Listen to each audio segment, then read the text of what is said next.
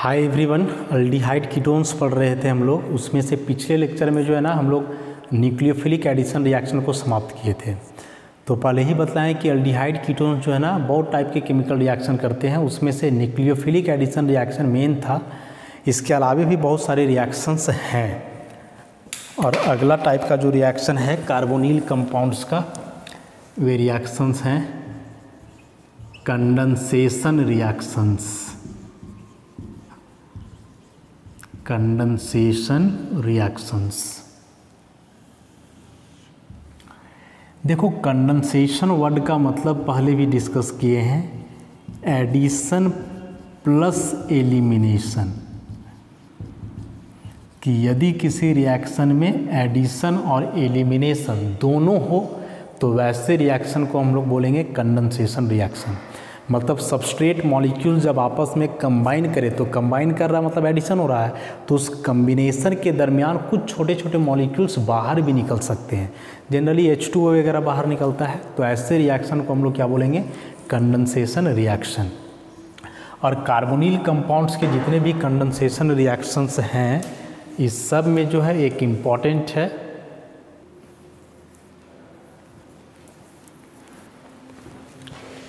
हाँ तो यहाँ बतलाए कि कंडेंसेशन रिएक्शन मतलब उस प्रकार का रिएक्शन जिसमें सबस्ट्रेट मॉलिक्यूल्स आपस में कंबाइन करेंगे तो उस कम्बिनेशन के साथ जो है कुछ मॉलिक्यूल्स एलिमिनेट भी करते हैं। और कार्बोनिल कंपाउंड्स के जो कंडेंसेशन रिएक्शंस होते हैं ना, उसमें से सबसे इंपॉर्टेंट है aldol condensation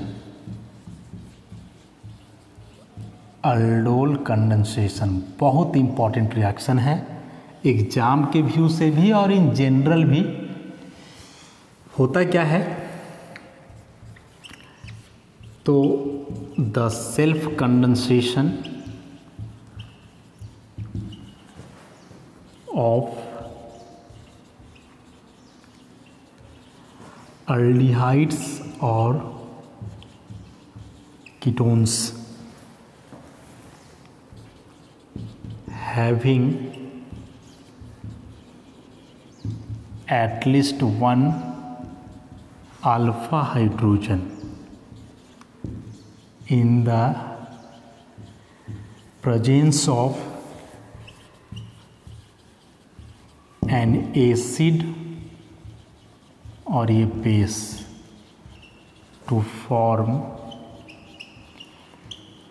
corresponding alpha beta unsaturated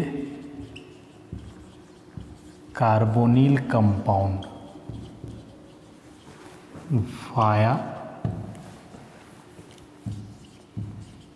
beta hydroxy aldehyde और ketone is known as aldol condensation बहुत ही सटीक डेफिनेशन है अल्डोल कंडेंसेशन का। क्या लिखें the self condensation of aldehydes और ketones having at least one alpha hydrogen in the presence of an acid और ए बेस वैसे अल्डिहाइड्स और कीटोन्स का रिएक्शन है जिसमें कम से कम एक अल्फ़ा हाइड्रोजन एटम हो। मेन पॉइंट नोट करेंगे हम लोग। कि जिसमें कम से कम एक अल्फ़ा हाइड्रोजन हो।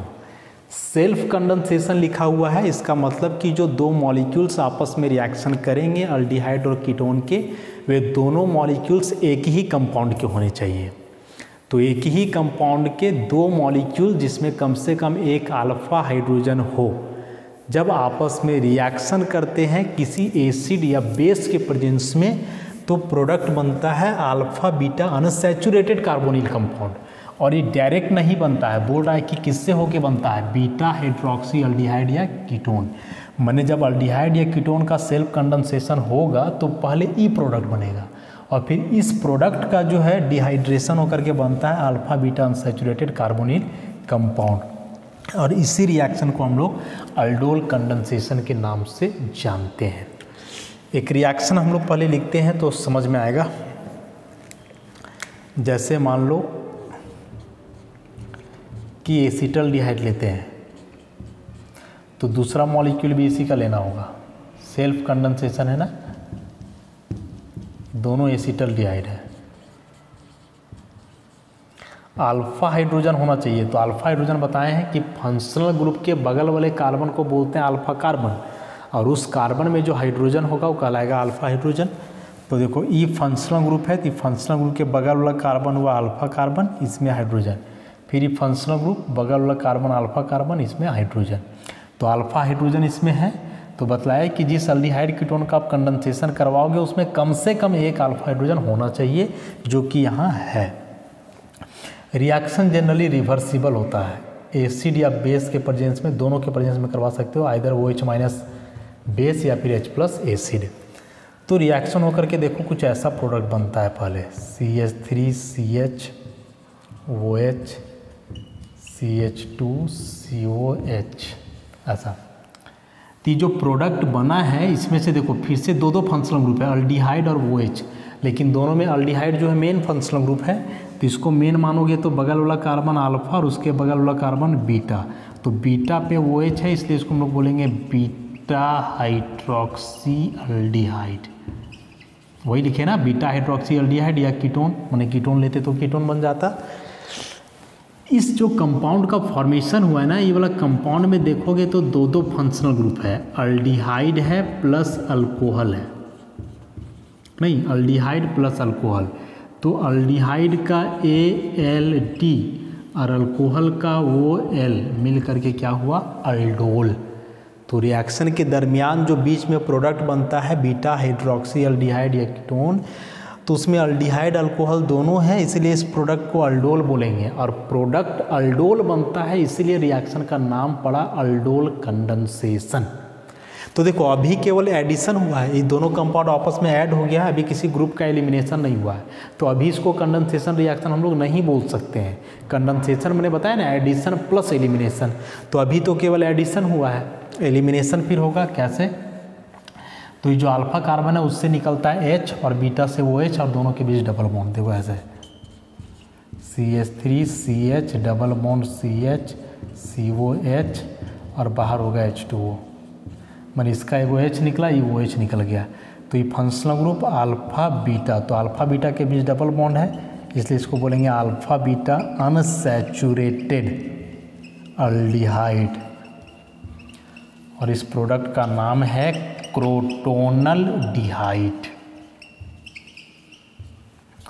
अब स्टेटमेंट पढ़ के रिएक्शन मिलाओ तो पूरा बात समझ में आ जाएगा। सेल्फ कंडेंसेशन मतलब दोनों मॉलिक्यूल एक ही कंपाउंड का होगा। ऑफ़ अल्डिहाइड्स और ketones having at least one alpha hydrogen मैंने वैसे अल्डिहाइड या कीटोन का सेल्फ कंडेंसेशन जिसमें कम से कम एक अल्फ़ा हाइड्रोजन हो। है तीन तीन अल्फ़ा हाइड्रोजन है इसमें। In the presence of acid और बेस बेस या एसिड के प्रेजेंस में। To form corresponding alpha beta unsaturated carbonyl compound via beta hydroxy aldehyde या कीटोन माने बीटा हाइड्रोक्सी अल्डिहाइड या कीटोन से होकर alpha beta unsaturated carbonyl compound बनेगा। वैसे ही रिएक्शन को हम लोग बोलेंगे अल्डोल कंडेंसेशन तो यहाँ हम लोग देखें कि दोनों आपस में पहले कंबाइन करके बनाया अल्डोल और फिर इसमें डिहाइड्रेशन हुआ तो बन गया alpha beta unsaturated aldehyde ketone लेते तो कीटोन बनता। तो देखो कीटोन लेते तो यहाँ जो प्रोडक्ट बनता, फिर उसको हम लोग कीटोन नहीं बोलते, जैसे अल्डिहाइड और अल्कोहल का अल्डोल कीटोन लेते तो यहाँ कीटो और इसका हो जाता बोल तो कीटोल तो कीटोल जनरली नहीं बोलते, हम लोग अल्डोल ही बोलते हैं। चाहे तुम अल्डिहाइड लो, चाहे कीटोन प्रोडक्ट को अल्डोल बोलेंगे, है ना? कीटोल नहीं बोलते हैं। थी थीवाल्डोल कंडेंसेशन यदि एग्ज़ाम में इस पर नोट्स लिखना आता है तो आपको इतना बात लिखना पड़ेगा यह स्टेटमेंट और एक रिएक्शन यहाँ तक, पूरा करके डिहाइड्रेशन तक। अब इंपॉर्टेंट है इस रिएक्शन का मैकेनिज्म अल्डोल कंडेंसेशन आसान नहीं है। अल्डोल कंडेंसेशन पर पूरा एक अलग चैप्टर ही होता है ऑर्गेनिक का। सिंथेटिकली बहुत इंपॉर्टेंट रिएक्शन है अल्डोल और इसका रीजन क्या है ना? कि इसमें कार्बन कार्बन बॉन्ड का फॉर्मेशन होता है। देखो, ये दो कार्बन अलग है, दो कार्बन अलग है। रिएक्शन हुआ थी चारों कार्बन आपस में एक साथ जुड़ गया। तो ऐसे कार्बन कार्बन आपस में जोड़ते जाओ जोड़ते जाओ तो ऐसे बड़ा सा मॉलिक्यूल का फॉर्मेशन होगा ना कॉम्प्लेक्स मॉलिक्यूल तो चूँकि कार्बन कार्बन के बीच डायरेक्ट बॉन्ड बनता है इस रिएक्शन में, इसीलिए जो है, यह काफ़ी इंपॉर्टेंट रिएक्शन है। सिंथेटिकली ड्रग्स वगैरह बनाना वगैरह रहता है तो उसमें ऐसे ही बनता है। तो उसमें अल्डोल कंडेंसेशन बहुत इंपॉर्टेंट रोल प्ले करता है। तो अब हम लोग जानेंगे इस रिएक्शन का मेकेनिज्म तो मैकेनिज्म इसका दोनों है एसिड कैटलाइज्ड भी है और बेस कैटलाइज्ड भी है।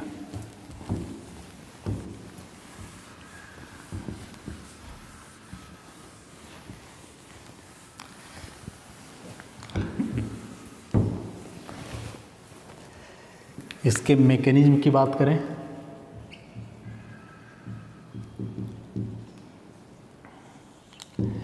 तो मैकेनिज्म में सबसे पहला क्या होता है कि जो बेस लेते हैं, यदि बेस कैटेलाइज रिएक्शन है तो तो बेस क्या करता है कि base abstract the acidic alpha hydrogen of carbonyl compound चूँकि यहाँ एसिटल डिहाइड लिए थे तो एसिटल डिहाइड लिखते हैं।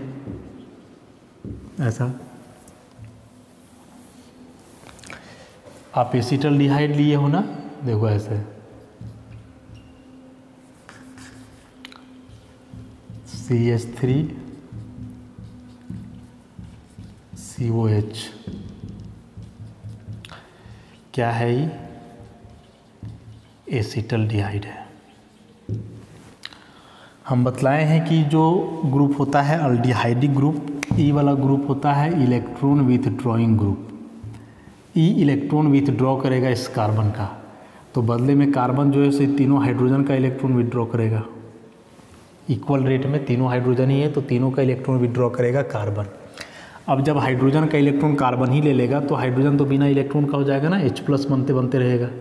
तो जो हम लोग रिएक्शन मीडियम में बेस का इस्तेमाल करते हैं वो एच माइनस बेस ये बेस क्या करेगा कि इस हाइड्रोजन को ले लेगा। जैसे ये बॉन्ड का इलेक्ट्रॉन ले लिया कार्बन तो ये बन गया एच प्लस तो ये वो एच माइनस ले लेगा इस एच प्लस को।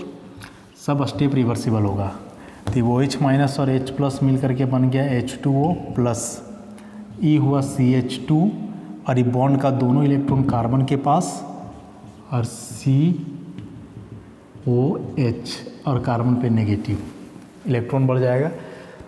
कार्बन पे नेगेटिव माने ये बना कार्बेनायन और उससे भी इंपॉर्टेंट कि नेगेटिव चार्ज है तो ये काम करेगा आप किसका? न्यूक्लियोफाइल का।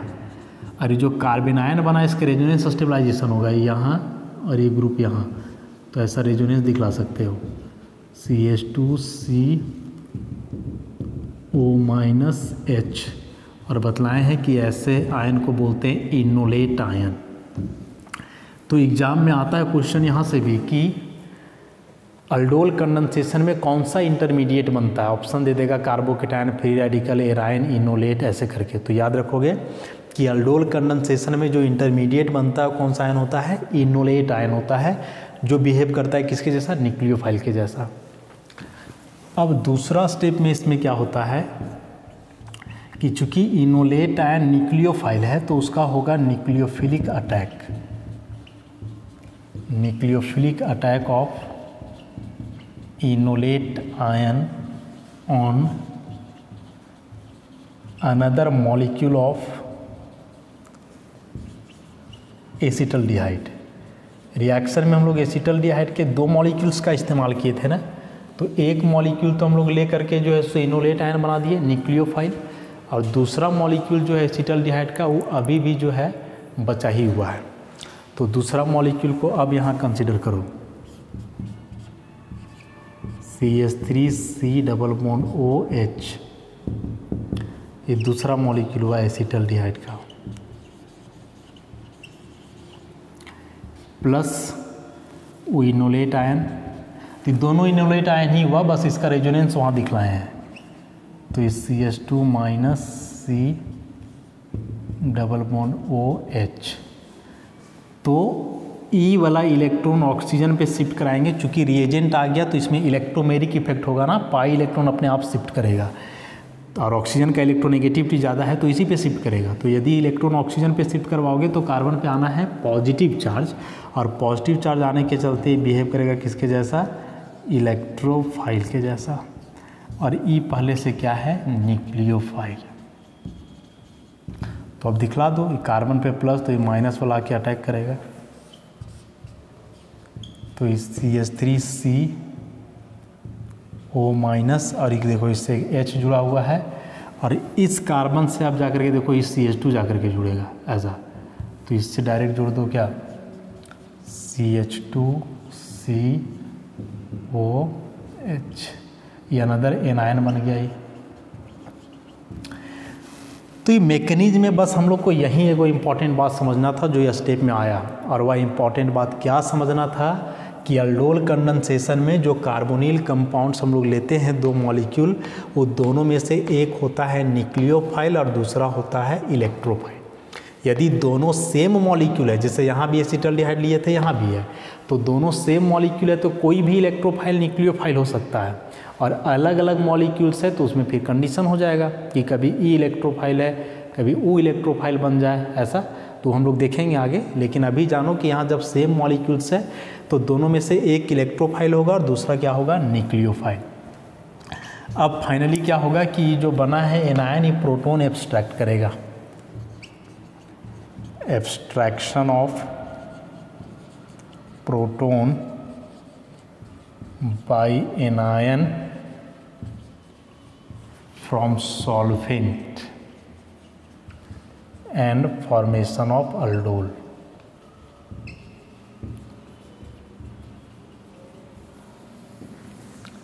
कि जो एनायन बना है, इसको लिखो।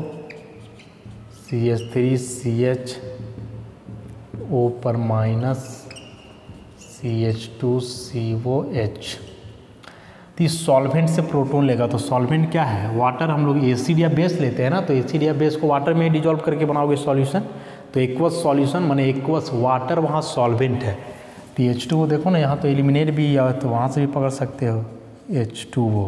तो एच टू वो मैंने इसको लिख सकते हैं H plus O H minus तो देखो ओ माइनस एच प्लस ले लेगा, अरे ओ एच माइनस यहाँ से हो जाएगा बाहर। तो ओ एच माइनस बाहर हो रहा है, इसका मतलब देखो ओ एच माइनस यहाँ इन्वॉल्व हुआ लास्ट में बाहर हो गया। ऑब्वियसली क्या होगा? कैटलिस्ट तो जो एसिड या बेस हम लोग लेते हैं रिएक्शन मीडियम में, वो क्या होता है? कैटलिस्ट होता है। अब यहाँ से बनाओ। तो इस C H three C H ई हो जाएगा वो एच क्योंकि वो माइनस एच प्लस को ले लिया और ये बना C H two C O H and this one is the aldol तो ये जो रिएक्शन हम लोग यहाँ तक लिखे, ये तो अल्डोल फॉर्मेशन का हुआ। अब अल्डोल का फिर हम देखे थे कि एच टू ओ निकल करके अल्फ़ा बीटा अनसेचुरेटेड कंपाउंड बनता है ना? तो उसके बाद फिर क्या होगा? सो देखो, जब अल्डोल बन गया यहाँ से तो अब इसका होना है डिहाइड्रेशन और डिहाइड्रेशन किस प्रकार से होगा देखोगे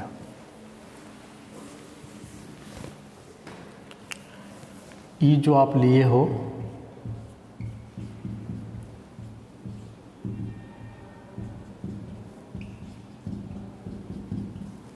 अल्डोल, ऐसे तो यहाँ अभी भी तो फिर वही बात है ना कि ई पूरा है इलेक्ट्रॉन विथ ड्राइंग ग्रुप तो ये ग्रुप क्या करेगा कि इसके इलेक्ट्रॉन को खींचेगा तो बदले में कार्बन या हाइड्रोजन का इलेक्ट्रॉन खींचेगा, ऐसे?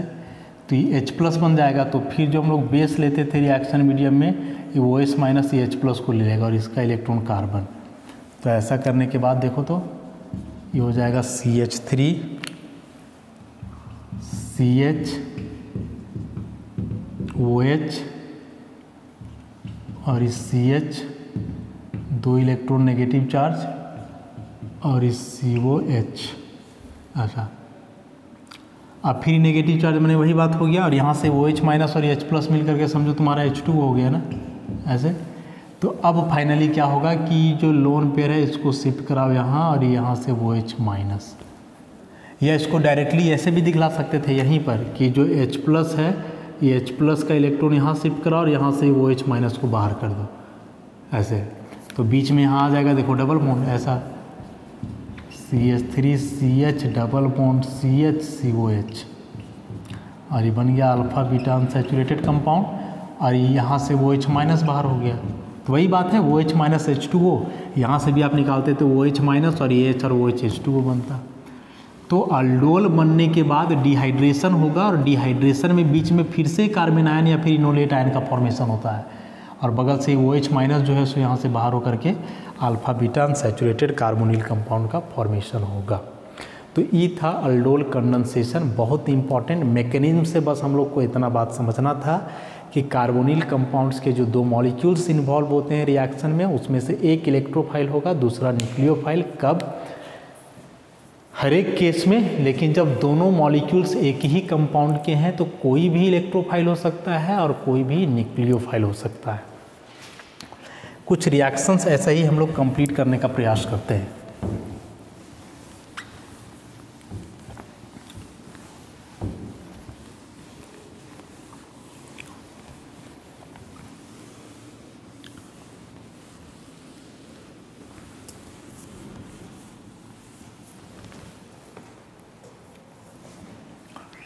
जैसे वहाँ लिए थे एसिटल डिहाइड इस बार मान लो ले लो प्रोपेनल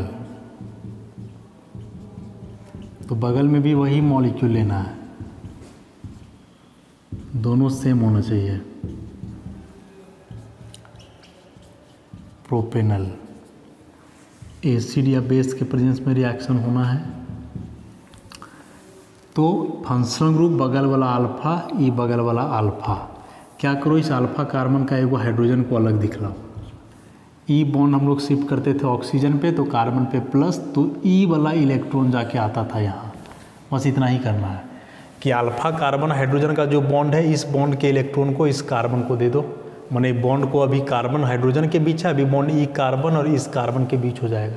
तो ई अपना इलेक्ट्रॉन इसको दे रहा है, इसलिए हो जाएगा न्यूक्लियोफाइल और इसके कार्बन पे अटैक हो रहा है, इसलिए हो जाएगा इलेक्ट्रोफाइल प्रोडक्ट क्या बनेगा?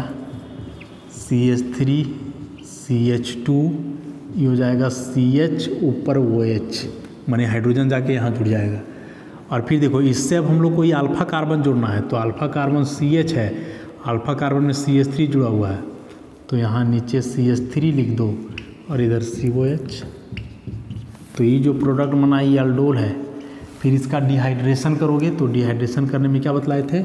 ये अल्फ़ा और ये बीटा तो अल्फ़ा कार्बन का ये जो हाइड्रोजन होता है एगो हाइड्रोजन को ऐसे दिखला तो ये हाइड्रोजन का बॉन्ड यहाँ, और ये वो एच माइनस बाहर एच टू तो C H three C H two C H double bond C और नीचे C H three C O H ऐसा बन गया कंडेंसेशन प्रोडक्ट सेम रिएक्शन यदि तुम करना चाहो, मान लो कि इस बार ब्यूटेनल ले लो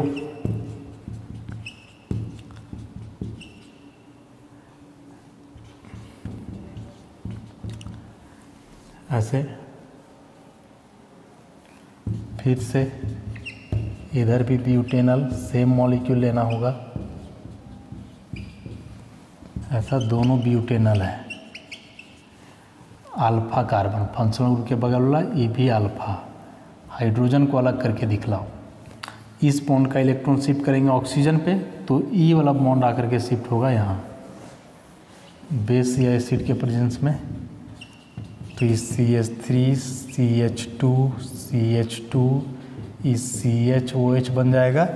और इसमें जाकर के देखो ये अल्फ़ा जुड़ेगा। तो अल्फ़ा में है यहाँ सी एच तो सी एच और इस सी एच से देखो जुड़ा हुआ है C H two C H three तो इसको नीचे करके लिखो। C H two C H three और यहाँ सी ओ एच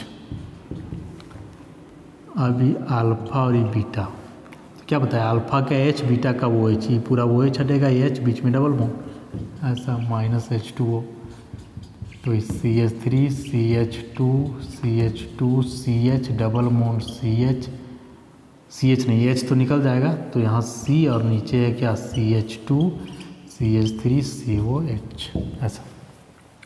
तो किसी भी प्रकार का अल्डिहाइड या कीटोन दिया हुआ है ना, कोई मैटर ही नहीं करता है। बस सिंपल सा बात है कि एक के अल्फ़ा कार्बन हाइड्रोजन का बॉन्ड दूसरे के कार्बोनिल कार्बन पे जाके जोड़ देना है, बस। और ये हाइड्रोजन शिफ्ट कर जाएगा ऑक्सीजन पे जाकर के पहले अल्डोल फिर अल्फ़ा से हाइड्रोजन बीटा से वो छटा करके कंडेंसेशन प्रोडक्ट बना दो। अल्फ़ा बीटा अनसेचुरेटेड कोई साइक्लिक कंपाउंड मान ले दिया रहे।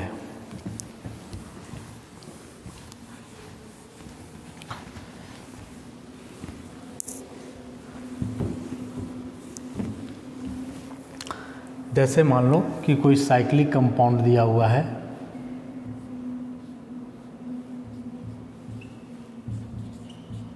साइक्लोहेक्सानोन ठीक यहाँ भी दिया हुआ है। और इसका अल्डोल कंडेंसेशन करवाना है। कंपाउंड हम लोग को थोड़ी देखना है क्या है कि नहीं है। बस अल्फ़ा कार्बन हाइड्रोजन पहचान हो गया रिएक्शन तो ये फ़ंक्शन ग्रुप है, बगल वाला कार्बन हो गया अल्फ़ा कार्बन और इस कार्बन में यहाँ दो दो का हाइड्रोजन है। बस। तो क्या करने बोले थे कि एक का सीवो बॉन्ड ऑक्सीजन पे शिफ्ट करवाओ और इसका कार्बन, हाइड्रोजन का बॉन्ड जाके कार्बोनिल कार्बन पे, यहाँ। हो गया, जोड़ो इसको। तो ये हो जाएगा, ये हो जाएगा यहाँ ओ एच वो यहाँ सिंगल चार्ज तो एच जाके जुड़ेगा ओ एच और देखो, ये कार्बोनिल कार्बन और ये अल्फ़ा कार्बन के बीच बॉन्ड बनाना है। तो यहाँ और ये अल्फ़ा कार्बन देखो ऐसे। ऐसे। जाएगा डबल बॉन्ड ओ अब इसमें से फिर डिहाइड्रेशन करना है इसका तो ये अल्फ़ा ई बीटा तो अल्फ़ा में अभी भी वो एच है तो ई वाला बॉन्ड यहाँ और ये वो एच बाहर। माइनस एच टू ओ तो ऐसा बन जाएगा।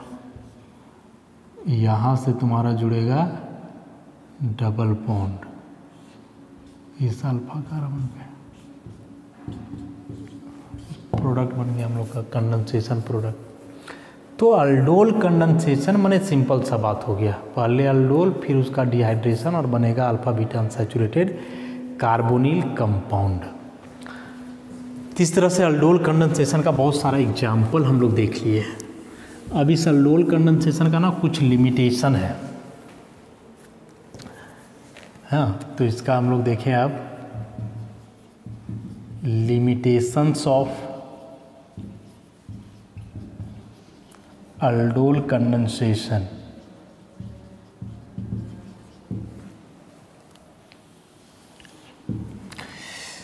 सबसे पहला लिमिटेशन इसका है कि only those aldehydes and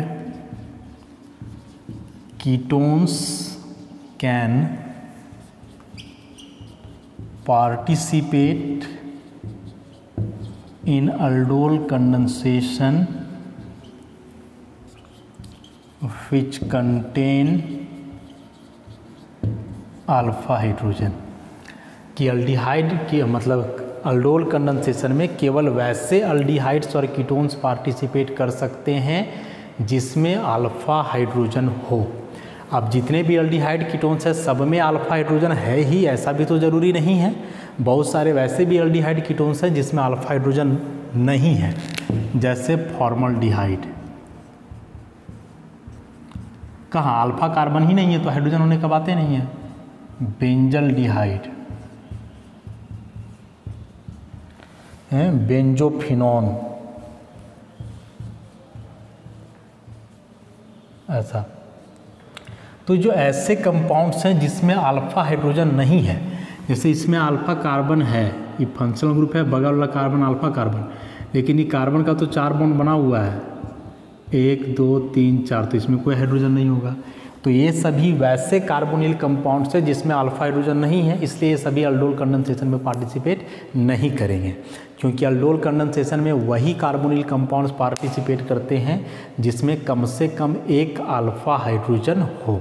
तो ये पहला लिमिटेशन हो गया इसका। दूसरा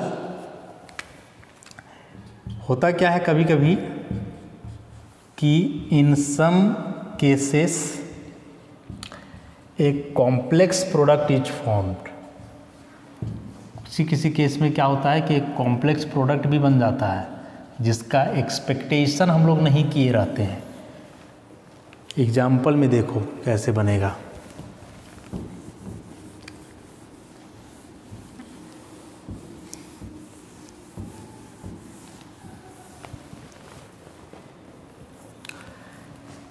मान लो कि आप एसीटोन का करवाते हो अल्डोल कंडेंसेशन।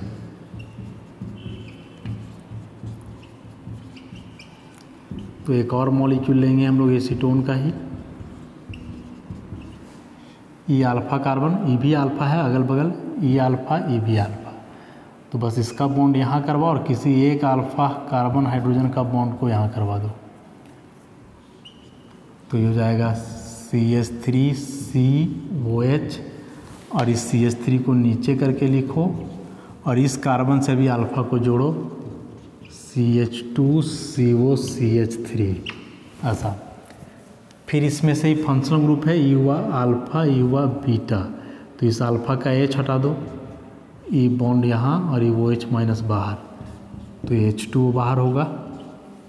फिर क्या बनेगा? C H three C C H three double bond C H C double bond O C H three condensation product बना। इसका कॉमन नेम होता है मेसीटाइल ऑक्साइड। और आईपीएसी नाम अपने हिसाब से नंबरिंग करके लिख लेंगे हम लोग।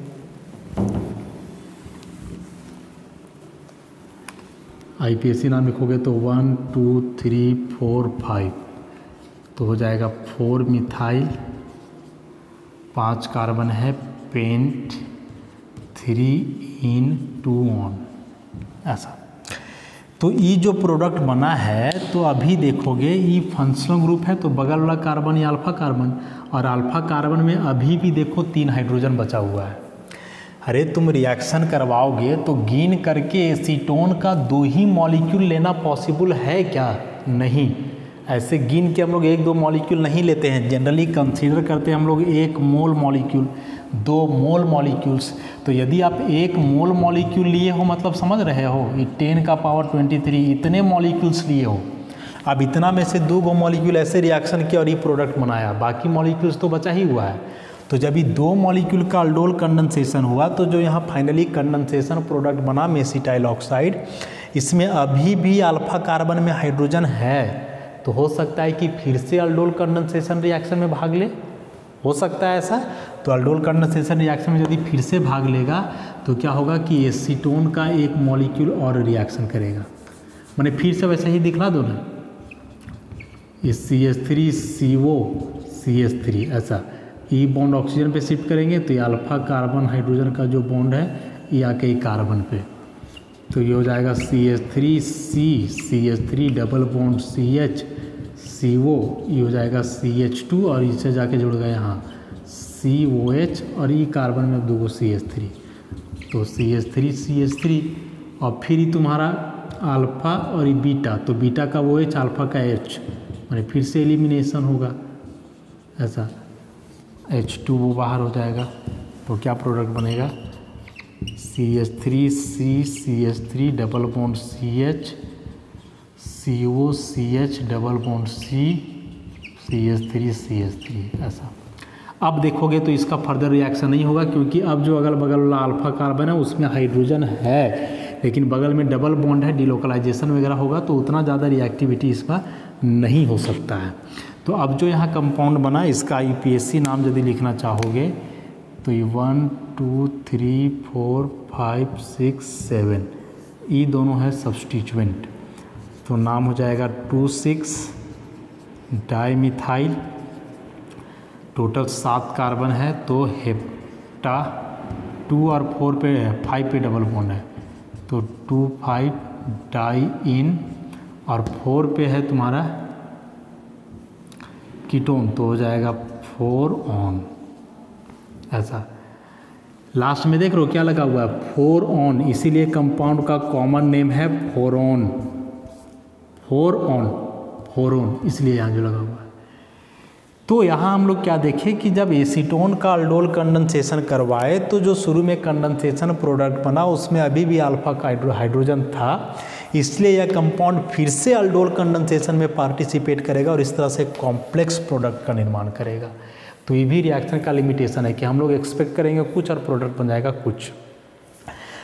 अब अगला लिमिटेशन इसका कि अल्डोल कंडेंसेशन जो है, उसमें से हम लोग लिखें कि सेल्फ कंडेंसेशन है, इसमें दोनों मॉलिक्यूल्स एक ही कंपाउंड के होने चाहिए। दोनों मॉलिक्यूल्स यदि अलग अलग कंपाउंड के लेंगे, तब क्या होगा? एक एसीटल डिहाइड ले लें, एक एसीटोन ले लें। तो जब अलग अलग मॉलिक्यूल लोगे तो इसमें कौन इलेक्ट्रोफाइल होगा, कौन न्यूक्लियोफाइल होगा, कैसा प्रोडक्ट बनेगा? ये बात भी हम लोग को पता नहीं चल रहा है। इसमें तो हम लोग बोल दिए सेल्फ कंडेंसेशन मैंने दोनों मॉलिक्यूल से एक ही कंपाउंड का होना चाहिए। लेकिन अलग अलग रहेगा, तब क्या रिएक्शन होगा? तब कैसा प्रोडक्ट होगा? तब कौन न्यूक्लियोफाइल होगा और कौन इलेक्ट्रोफाइल होगा?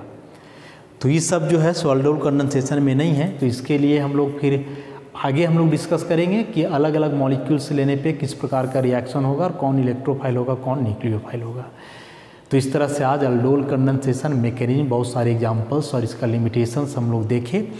नेक्स्ट क्लास में इसी टॉपिक को अल्डोल कंडेंसेशन को ही जो है हम लोग आगे प्रोसीड करेंगे। धन्यवाद।